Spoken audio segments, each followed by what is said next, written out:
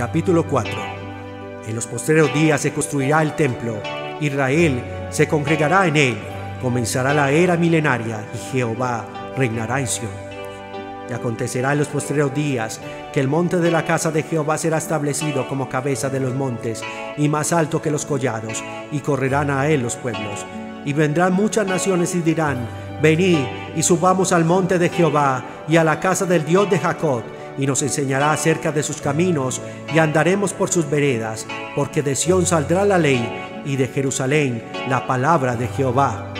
Y él juzgará entre muchos pueblos y reprenderá a naciones poderosas hasta muy lejos, y forjarán sus espadas en rejas de arado y sus lanzas en hoces. No alzará espada nación contra nación, ni se adiestrarán más para la guerra. Y se sentará cada uno debajo de su vid y debajo de su higuera, y no habrá quien los amedrente, porque la boca de Jehová de los ejércitos lo ha hablado.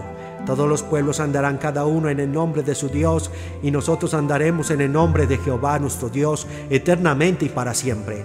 En aquel día, dice Jehová, juntaré la que cojea, y recogeré a la desterrada y a la que afligí, y haré de la que cojea un remanente, y de la desterrada nación robusta, y Jehová reinará sobre ellos en el monte Sión, desde ahora y para siempre. Y tú, oh torre de rebaño, fortaleza de la hija de Sión, hasta ti vendrá el primer señorío, el reino vendrá a la hija de Jerusalén.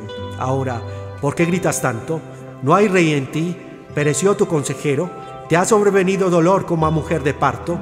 Retuércete y gime, hija de Sión, como mujer que está de parto, porque ahora saldrás de la ciudad y morarás en el campo y llegarás hasta Babilonia. Allí serás librada, allí te redimirá Jehová de mano de tus enemigos.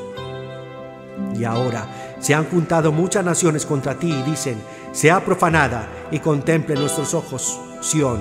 Mas ellos no conocieron los pensamientos de Jehová ni entendieron su consejo. Los juntó pues como gavillas en la era.